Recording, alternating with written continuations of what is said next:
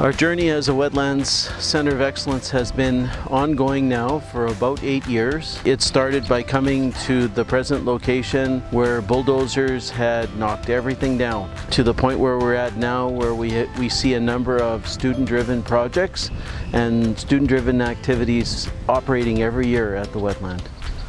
There's a grid of nine hula hoops, three by three, and the kids are split up into two teams with labeled bean bags. There's wetland protection, which is like planting native species, water testing, things like that. And then on the other side, the bean bags are labeled wetland stress and pollution. They run and they put the beanbag in and then they go back, they high five and they try and get three in a row before the other team.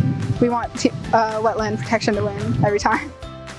The younger students were really respectful towards us. They listened to us about what we said was important and they really, they were really interested about what we had to say. This year we've had a student who decided that pollination was going to be an issue at our wetland that she wanted to take on. That student went and found a beekeeper that was willing to come here and, and bring bees. A lot of our food production is dependent upon pollinators. She did something about it, which is awesome.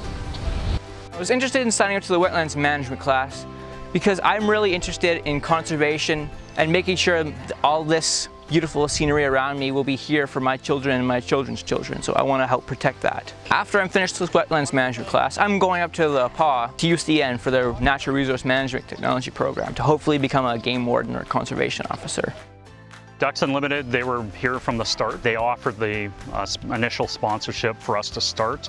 And pretty much every year since, they've been available to us either through uh, the Eco Van coming out to talk to the kids and work with our students, through funding, and so we utilize to do what we're what we're doing today. And, and our community, like I said, has just supported everything from the get-go, and it's been a wonderful experience. It's been uh, discussed with Community Development Corporation that it's part of their 25-year plan to use as one of their main hubs of tourism down the road. There have been uh, some plans developed to make more of a center, somewhere to go to, to sit down it's just something that the community has seen value in and they're wanting to uh, explore it further and help us develop it. It's given uh, our school a bit of an identity.